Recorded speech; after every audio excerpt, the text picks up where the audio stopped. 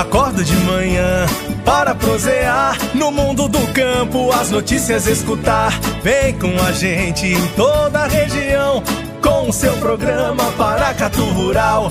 Tem notícias, informação e o mais importante, sua participação. Programa Paracatu Rural. Programa Paracatu Rural. Bom dia, bom dia! Estamos começando o Paracatu Rural desta sexta-feira linda e com uma cara que vai chover. Bom dia, Célio Roberto. Bom dia, Carol, tudo bem? Bom dia, Francis, tudo ótimo. Bom dia, Célio Roberto. Bom dia a todos. Pois é, Carol. Ontem nós fomos a um evento totalmente direcionado ao homem do campo com foco na agricultura familiar.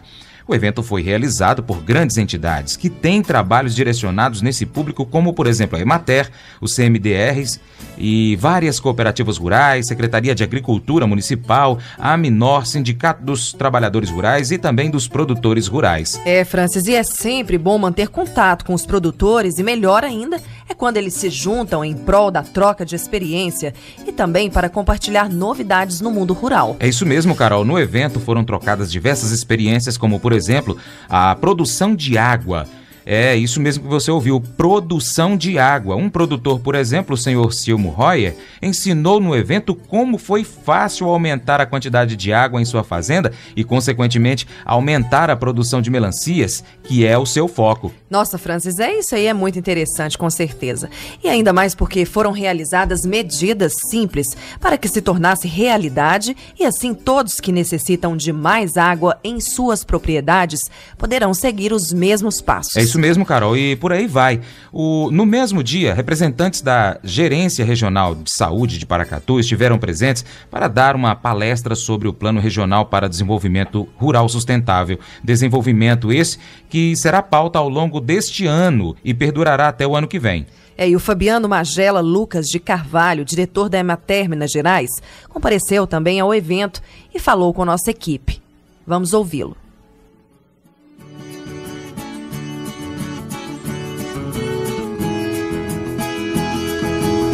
Eu tenho falado que acho que o único meio que nós temos de poder estar mais presente do nosso público, das nossas associações, é sair um pouco de Belo Horizonte. E quando nós assumimos a Emater em março desse ano, quando nós fomos nomeados pelo governador Fernando Pimentel para assumir uma das diretorias da Emater, uma das, uma, da, uma das determinações foi que a diretoria viesse, estivesse mais presente junto às nossas regionais, junto aos nossos escritórios locais, para, para, para participar e ver aquilo que as nossas associações estão participando, que os nossos produtores estão debatendo. Hoje nós estamos aqui em Paracatu no circuito integrado das associações rurais. Esse circuito foi criado pela nossa regional da Ematé de Unai e engloba os 14 municípios que fazem parte da regional. E ele é itinerante. Cada mês a gente reúne em uma cidade, onde convoca todos os presentes das associações rurais, o sindicato de classe, a sociedade civil, a prefeitura. Hoje nós estamos aqui representados pela secretária municipal de, de Agricultura para debatermos com os nossos produtores as suas deficiências, as suas carências, aquilo que nós do Poder Público podemos fazer em prol de todos os produtores.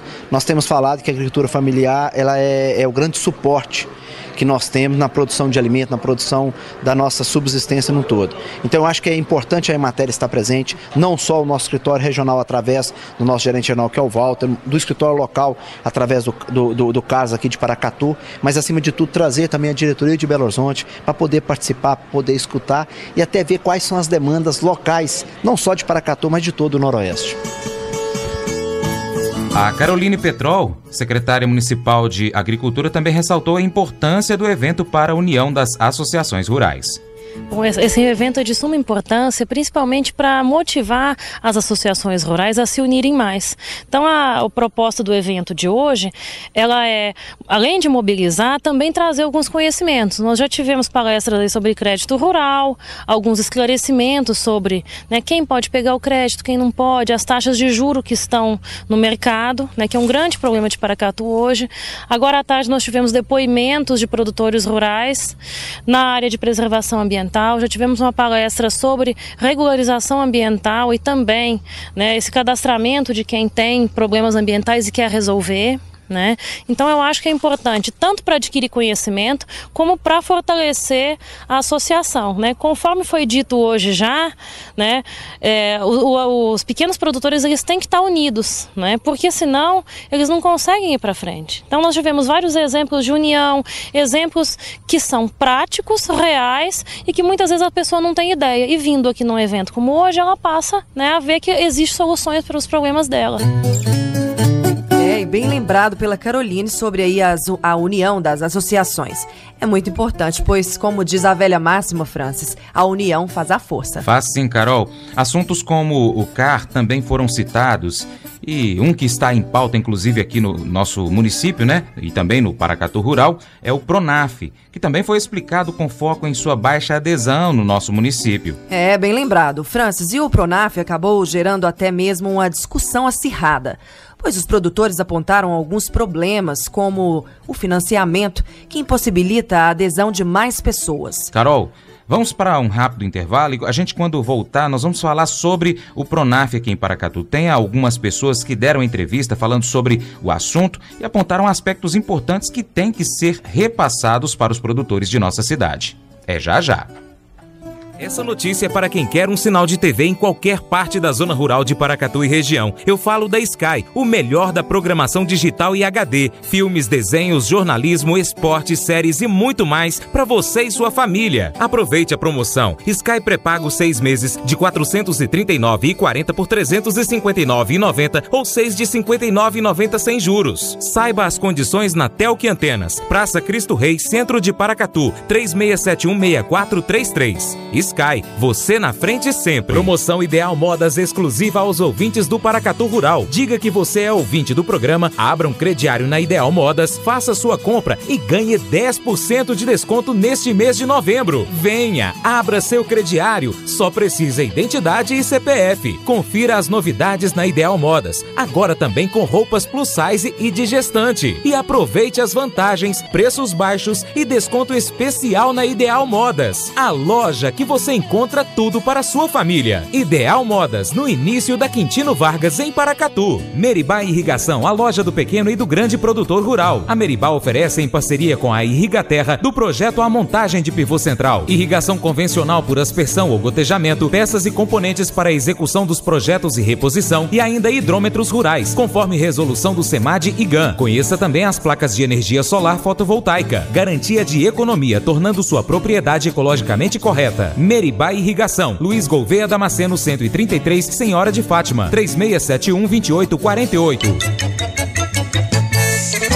Hoje é dia de comprar barato. Hoje é promoção cesta básica Supermercado Paracatu. Preço baixo no açougue, frutas e verduras, panificadora, frios, enlatados, todos os produtos da cesta básica com o menor preço para você e sua família economizar muito mais em suas compras. Vá ao Supermercado Paracatu, o mais completo e mais barato de Paracatu. Promoção cesta básica Supermercado Paracatu, essencial no seu dia a dia. Aberto hoje até às 21 horas.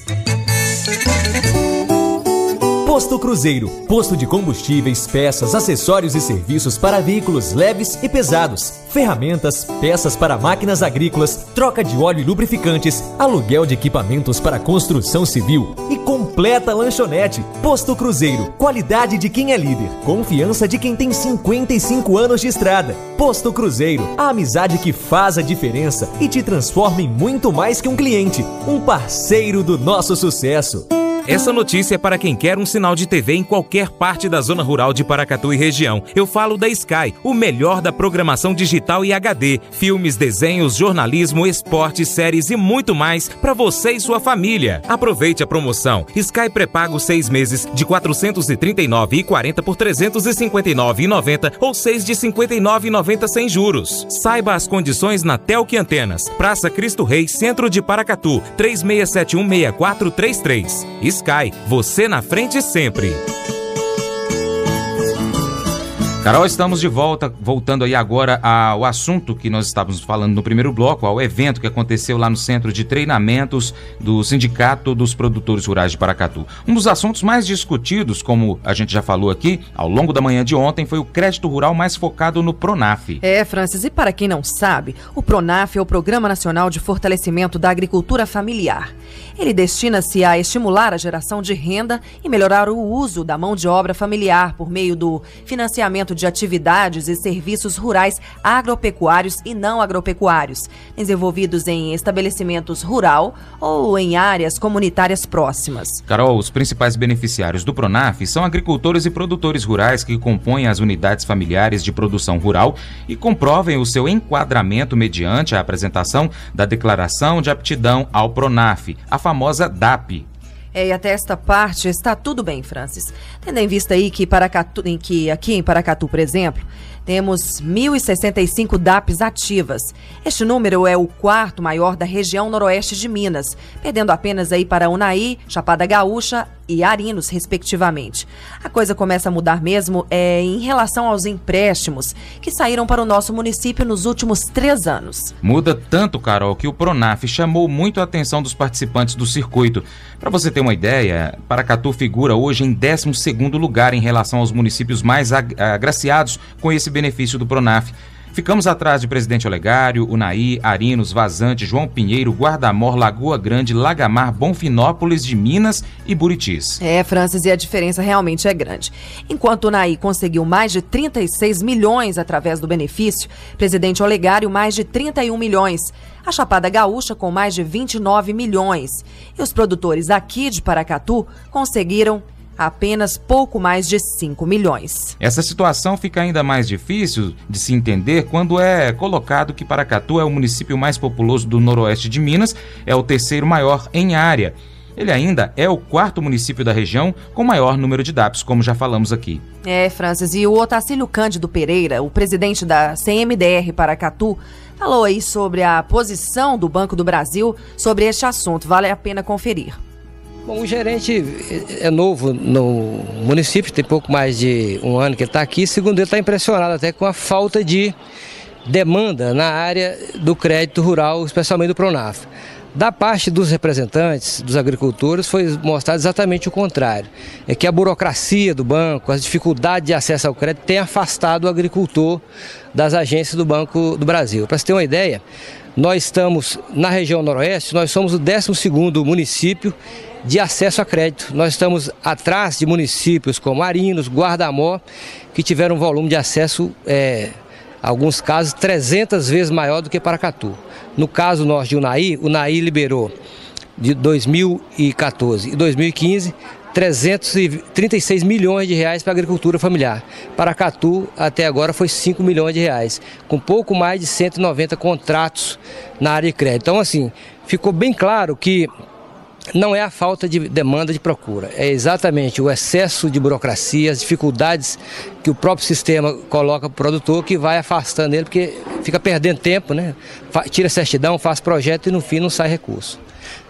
Assim, mas ficou encaminhado uma questão importante que nós eh, entendemos que a questão principal é o, a falta de um relacionamento mais articulado entre as instituições financeiras e as organizações. Então nós já tiramos alguns encaminhamentos de estreitar esses laços a partir do ano que vem. Já vamos sentar com, a, com as agências, planejar as possibilidades de crédito para o ano que vem, então a gente espera realmente poder superar esses problemas. Carol, o Fabiano Magela, diretor da Emater aqui em Minas Gerais, também ficou preocupado com os dados que foram apresentados na reunião e falou sobre o debate e ações que serão desenvolvidas para ajudar a resolver este caso aqui em nosso município. Vamos ouvi-lo. Eu falo que eu fiquei um pouco preocupado com os dados que a Carolina, a secretária municipal de, de, de, Agricultura, nos apresentou. Paracatu, com a, com a pujança que é o município de Paracatu, com o tanto de produtores que nós temos no município de Paracatu, Paracatu hoje está, no, parece, me parece, no 13 lugar no Noroeste, 12 no, no, no Noroeste, na questão do crédito rural. Nós sentamos aqui hoje, o, o gerente do Banco do Brasil, local de Paracatu, esteve aqui hoje, nós debatemos, discutimos várias ações. O que nós temos de concreto é que a Imaté da, acho que tem 60 dias que aconteceu, uma determinação do nosso governador, junto à Secretaria Estadual de Agricultura, a Emater firmou um contrato de parceria com o Banco do Brasil para que nós da Emater passássemos a ser correspondentes bancários da, da, do, do, crédito rural. Porque muitas das vezes o pequeno produtor ele fica até um pouco intimidado, um pouco com vergonha de entrar numa agência do banco e ele não tem, ele tem total liberdade junto à Emater. Então todos os processos de crédito daquele pequeno produtor que é assistido pela Emater, ele vai ser feito no escritório local, todo o levantamento de documentos, a formulação do projeto, porque nós da Emater conhecemos a realidade de cada produtor. Muitas das vezes o funcionário do Banco do Brasil que está lá é, é, recepcionando esse produtor, ele não sabe a realidade que o produtor quer, que tipo de crédito que ele quer para sua propriedade. Nós da Emater não. Pela nossa capilaridade, a capilaridade da Emater de, de, de, de estar nos seus 67 anos de existência, tudo justamente com exceção rural, ela conhece a realidade do pequeno produtor, que tipo de crédito que é melhor para ele. Ah, é um crédito para melhorar o seu, o seu rebanho de gado leiteiro? É um crédito para melhorar seu rebanho de gado de corte? É um crédito para a gente produzir mais grãos, mais peixe, por exemplo, fruticultura, hortifruticultura? Enfim, a Emater sabe disso. Então foi firmado esse termo de compromisso, é um contrato assinado entre o Banco do Brasil, da, da, da, da Superintendência Estadual, com a Emater MG, para que a gente possa difundir pelo estado inteiro essa questão do crédito rural. Só para vocês terem uma ideia, a Emater hoje está presente em 790 municípios do estado. O Banco do Brasil está presente em 530. Então, se nós conseguirmos levar esse projeto, colocar ele mesmo em prática, que não é fácil, isso aí vai requerer muito prazo, muita discussão, questões financeiras, mas está sendo muito bem discutido. Eu acho que nós podemos pegar o crédito aqui de, de Paracatu, que hoje está em 12 lugar, e podemos levar Paracatu ao primeiro lugar do Noroeste. Eu acho que Paracatu tem um potencial tremendo para isso. Nós temos grandes, pequenos produtores que querem e acreditam na agricultura familiar. Eu acho que falta um pouco mais de conhecimento para eles e o Banco do Brasil poder se reestruturar um pouco mais para discutir a questão do crédito e nós da Emater levarmos a extensão rural e o crédito diretamente para eles em projetos bem feitos, que seja a sua realidade. É, e a Caroline Petrol, secretária de Agricultura, falou também sobre a discrepância do crédito rural de Paracatu quando é relacionado com municípios vizinhos. Vamos ouvi-la. É, infelizmente nós estamos muito aquém dos outros municípios compatíveis com o nosso tamanho. Né, Para você ter uma ideia, o Naí, que é um município que seria compatível com o nosso tamanho, pega 600% mais crédito rural que Paracatu. Né? Vazante, que é um município menor, pega 300% mais que a gente. Então nós viemos aqui hoje, né, trouxemos esses números, trouxemos o pessoal né, das instituições bancárias para alertá-los sobre esses números e para ver se a gente pode mudar essa realidade. Né? E o que foi colocado foi realmente existe né, uma é, burocratização muito grande do setor, mas existe uma falta de demanda. Né? Então eu vou aproveitar esse espaço para que os produtores que desejam adquirir o crédito rural, o Pronaf, procurem a Emater, que é o órgão capacitado para fazer os projetos que a gente vai ajudar no que for possível para que o município se desenvolva. Hoje a gente fala que a agricultura é, o, o, agricultor ele não cresce sem o crédito rural. Pouquíssimos são os exemplos daquelas pessoas que crescem só com capital próprio. A maioria dos exemplos bem-sucedidos são de pessoas que pegaram crédito, utilizaram da maneira correta e pagaram ele.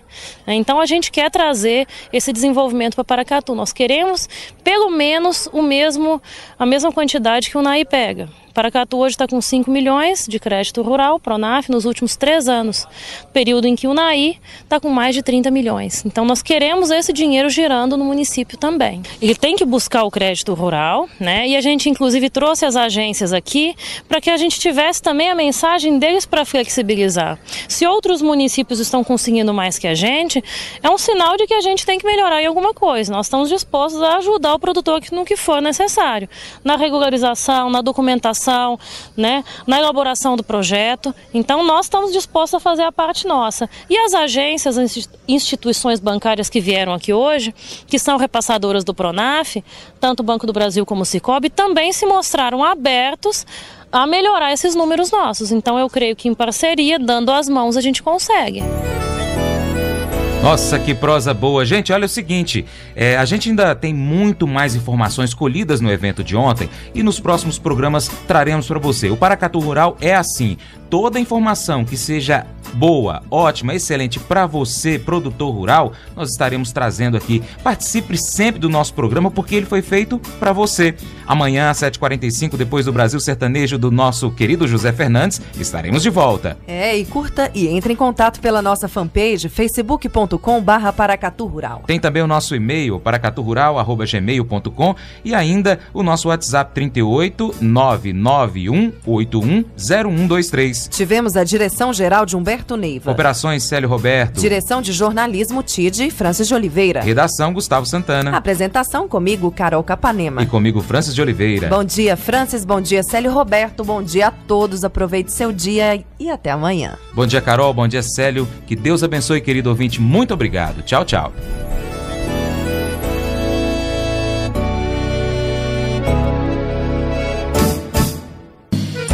Acorda de manhã para prosear no mundo do campo, as notícias escutar. Vem com a gente em toda a região com o seu programa Paracatu Rural. Tem notícias, informação e o mais importante, sua participação. Programa Paracatu Rural. Programa Paracatu Rural.